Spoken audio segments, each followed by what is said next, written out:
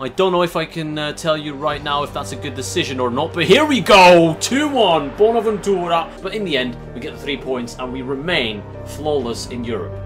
Rafinha makes it five. Unbelievable. Absolutely unreal. This is going to make headlines in the football world. Suso makes it 7-0, and there is no point in celebrating anymore. Hey guys, and welcome back to the AC Career Mode. We have a very, very important episode ahead of us, but before we get into that, I want to thank you for the support on this series. The last episode nearly made it to 200 likes. I think we're about 5 likes short on the last two episodes, but that's fair enough. I really want to upload more consistently. I don't think I deserve the rewards of your guys' appreciations. I've not been doing well enough and I'm going to try and make amends this week. A couple of episodes, hopefully at least three in the next week are coming your way. But today's episode features the game uh, Inter, of course, Derby della Madonnina. Huge game. Guimarães in the Europa League, Genoa and Chievo as well. The Chievo and Inter game will be played, Guimarães and Genoa will be simulated. So, things could go very wrong quickly, or they could keep on going like they have been, like in a past episode where we smashed Roma 7-0, which was a huge result to boost our confidence and our place in the standings. Still six points behind Inter. It's absolutely pivotal that we pick up three points. In derby games, anything can happen, but Inter must be looking at this one a bit anxiously and knowing that we just smashed Roma, who are a good side, 7-0. I'd say, despite the league standings, we could be the favourites here today. That little smile on Bonucci's face just oozes me with confidence. Inter don't know what's going to hit them. Borja Valero into Mauro Icardi, Ivan Perisic. They've got a lot of uh, attacking talent. I'm not going to lie, the mini-map is not helping me because both teams are indicated with black circles. So that is not helpful at all. As Suso breaks away against Dalber. Lovely turn. Suso, good ball. Bonaventura! Saved by Padelli. Valero. Valero, that's too easy there. Valero! Just wide. Andre Silva into Bonaventura. Bonaventura into Rodriguez. Space for Ricardo Rodriguez. Joao Mario trying to track back Rodriguez with the left foot. It's not a bad one. Suso with an acrobatic header attempt. But unfortunately saved again. Here is Suso for the... Oh! Penalty! How's that not given? Icardi against Bonucci one-on-one. Lovely switch into Candreva. Romagnoli is there. Well defended Milan. Rafinha, the playmaker today for us. Kessié, good ball into Rodriguez. Rodriguez back into the middle. Bonaventura into Suso. Suso into Lucas Biglia. And Inter very strong defensively, not leaving many gaps. But here is Ricardo Rodriguez. First time banger. Oh, you have to be kidding me. Andre Silva. Yes. 1-0 Milan. Andre Silva scores on the rebound, but what a finish that was. Despite it being an open net, that took quality from Silva to finish that. The scissor kick into the back of the net. Padelli has done phenomenally well so far, but that one was just one too many. Into the back of the net he goes. Andre Silva opens the score in the Derby della Madonnina. Fantastic start for Milan. Mauro Icardi is going to take the shot. Donnarumma comfortable. And as you can see by the halftime stats, the first half is telling a story that Milan has been in control of this game. In the chances and the possession, Donnarumma has not been worked that heavily. Padelli, on the other hand, has had to make some phenomenal saves. Only really two shots inside the box for Inter, whereas we've had four from very good areas. So uh, Padelli is keeping Inter in the game at the moment. Hopefully in the second half, we can wrap it up and get a second and walk away with this. Bonucci, lovely ball into Suso. Suso into Rafinha. Rafinha turns inside nicely. Back into a Suso. Suso can shoot and score, and he does. Milan double their lead on the hour mark. It's Suso with the second, and it's got to be said again, Rafinha heavily involved. I just love that man. Rafinha has been a creative mastermind in this game, as well as well as the previous game, of course, but Look at that, lovely bit of work. Suso turns his man brilliantly and the finish is just as good.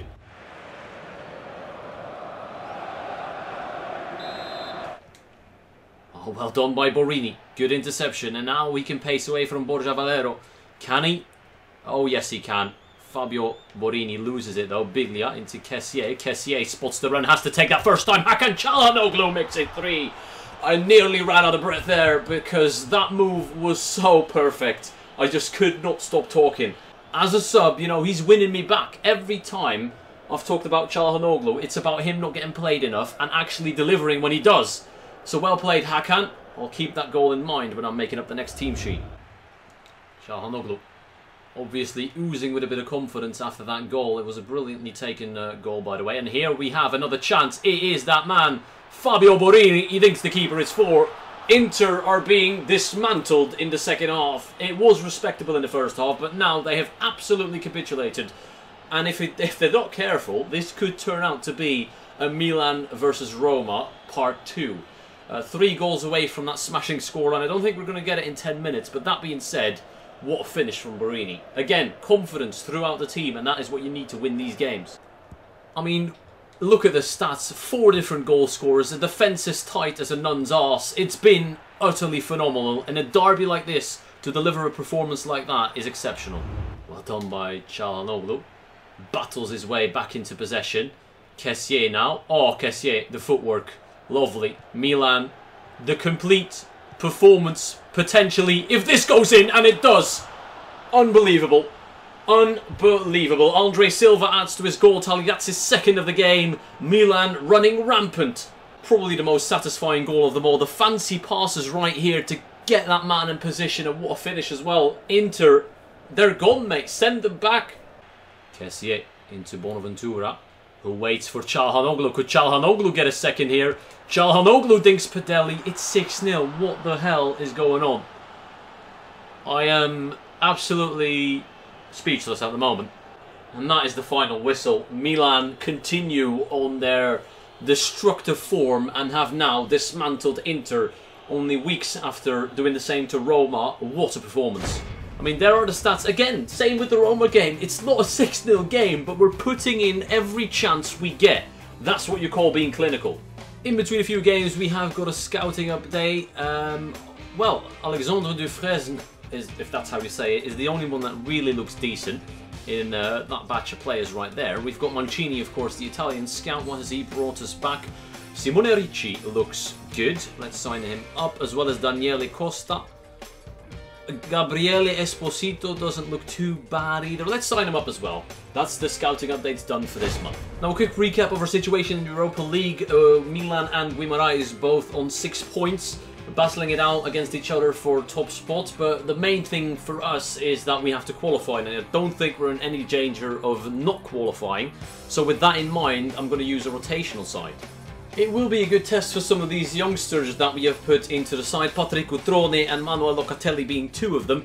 Uh, Romagnoli stays in the defence. There's a couple of players in there that we want to, of course, have experience with in this team. Bonaventura, Romagnoli, Donnarumma, they all keep their place. Borini and Çalhanoğlu were phenomenal against uh, Inter, so there's no reason why I shouldn't play them. Montolivo is the captain today, I know, but it's only a rotational side and it's a game. Even with a weakened side, we should realistically win. Milan versus Guimaraes at the San Siro. Let's take a look at how this one pans out.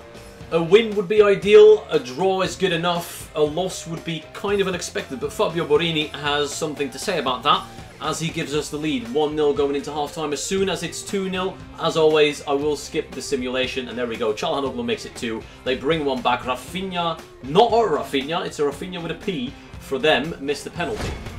Our strongest possible side has fully recovered for this mid-week game against Genoa. Romagnoli not 100% fit, but I'm sure he'll be able to do a job right there. Everyone is in spectacular form, apart from the back three, Donnarumma and Biglia, but they're still in good form. So again, I'm very confident we're going to pick up points in this game against Genoa. I'd rather play the away game. That's one I'd be scared of simming. But Genoa at home, Looking at the standings as well, we're making a climb up the table. I think we'll be able to do a job. Actually, if we win this game, we will be second in the league, level on points with Inter, so that's good. Andre Silva currently the top scorer in the league. Bonucci looking ready in the preview screen of the breaking news tab. I mean, everything is pointing towards a Milan win. Um, looking at Genoa's latest results, they drew to Cagliari, they won against Bologna, lost to Inter. We smashed Inter the last time round, so that being said, Let's hope for a Milan win here. Franck Yannick Kessié scores early on. Let's get a second so I can skip and save us a bit of time. It looks like we're going into the half at 1-0. We do. Carnage coming on for Suso. The substitutions scare me, but there is Bonaventura 2-0 and it's 3-0 in the end, Bonaventura with the brace. And life like this, as a manager, is easy. When everything's going your way, you're picking up results without even trying with, with simulating games. You know you're doing well, but look at the calendar what's about to hit us. It's, I'm not talking about Chievo. This is the final piece of action of today's episode, and that is, of course, play the game against Chievo away, but I'll have to rotate the side, because three days after the Chievo game, we have got Juventus coming up, who are currently unbeaten, fantastic record, the best defence in the league. We've scored the most goals in the league, obviously, considering our last two results, so it could be one hell of a clash. If we win the game against Chievo, we are technically second, a point ahead of Napoli, so that means it's first versus second against Juventus if we don't slip up against Chievo. A huge game looking... I'm looking forward to that, and it's going to be hitting us in the next episode. Leave your predictions in the comment section down below, or wait until after this Chievo game, because like I said, this game isn't won yet. We could easily make a mistake here. And let's not try and make that mistake. This is the team for the game against Chievo, rotated just like against uh, Guimaraes, I believe it was the same side pretty much, most players in good form. Let's get the job done. 7-0 versus Roma, 6-0 versus Inter, and this is the type of game that will probably be most dangerous to us. If we underestimate them, we're going to be in, we're going to be in for a tough ride. Lovely turn by Meggiorini. He's straight in on goal. Donnarumma forced into a first save. Cutrone into Kalinic. Lovely first touches by uh, Nikola Kalinic. And he sets free Fabio Borini. Borini for 1-0. Oh, what a finish. Fabio Borini is a man who cannot be tamed at the moment. Another goal for the man who was laughed at for joining Milan. But look at that. In off the bar, he's world class. Dare I say it. Well played by Collins to set up that chance, but that first touch from Borini sets him away from the defenders, and that finish, it could have been Manuel Neuer in there, he's not saving that. Danger here for uh, Chievo, Sebastian is through, or Bastian, not Sebastian, he scores. I'm telling you, these are the games we're going to make mistakes in, and there's the first one. Montolivo. Calhanoglu into Cutrone now. Cutrone into Kalinic first time. Kalinic can slip through uh, Hakan Calhanoglu. 2-1 Milan back in the lead. Brilliant finish again from Hakan Calhanoglu, who again is in fantastic form, and I've I really can pick whoever I want to play. There will be goals. Everyone on this team is capable of scoring, pretty much. And considering the form we're in, everything's going into the back of the net. Calhanoglu doesn't need time to think. One touch, bang. Oh, lovely turn by Inglese. Paletta is too slow to get there, and he scores. 2 all. Just one simple turn, no cover for Romagnoli, and they're back in the game. Well done. Borini into Calhanoglu, and it's 3-2. Hakan Calhanoglu. That seemed to take ages for it to hit the back of the net, and I do apologise for the uh, extended uh, pronunciation of Hakan's name, but he has got his brace and put us back in front. Let's keep it that way. He's offside, surely. Meggiorini is not offside. Donnarumma makes a fantastic save. Oh, Donnarumma, a good save. Eight saves Gianluigi Donnarumma. This has been the game of redemption for him. I've criticised him in the past, but today he's performing brilliantly. Mistake could be punished here. Meggiorini, side netting. Dangerous. We're about to complete our first substitution as well. Funes Mori coming on for Patrick Cutrone. The youngster has tried his fought, but he hasn't really got what it takes yet in games like this. Be danger in this one. There could be danger. Donnarumma spreads his legs to make another crucial save. Locatelli looking for the switch ball into Borini. Not the best idea, probably for myself, but we do keep control of the ball. And here is Fabio Borini, who turns his man lovely, and Fabio Borini kills the game off. The pressure from Chievo was immense, but we finally get our two-goal cushion back, and I think you could safely say the three points are now in the bag. And that is the final whistle. Chievo have been beaten 4-2 by Milan. An unstoppable Milan, it seems, although the defence today wasn't the best. We kept outscoring Chievo, and that is a sign of good things to come, hopefully. The goals are flying in. When Juve comes round at the San Siro next week, we have to make sure we tighten up our back line now.